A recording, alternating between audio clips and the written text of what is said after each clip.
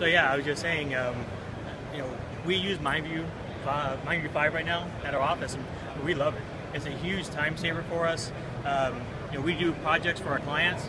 We had to send them, you know, all kinds of documentation. We just throw everything in MindView and export to Word, and it's hugely productive for us. Our clients love it. They, they think we've spent days and days. We've only spent, you know, maybe hours putting all the information together. We go to meeting, we take our laptops with us, we do a mind map, and once the meeting is done, all the data's there. We just take it, we just refine it when we get back to the office, and boom, we have a work breakdown structure, we have, you know, the Gantt chart, and we can export that into Word, and again, give that back to our clients. And again, they think we spent all this time, which we haven't, putting this information together. And then when I, I can compile it to the XML file, send that to them, they can edit it and you know make changes and send it back to us, and it just comes right back into uh, the product. We love it.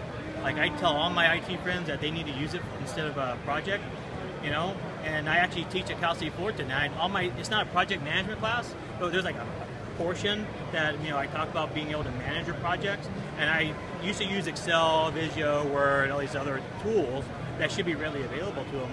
Now I don't even do that anymore because it took them hours out of my class, them trying to make these work breakdown structures or manage this, this you know, this management data.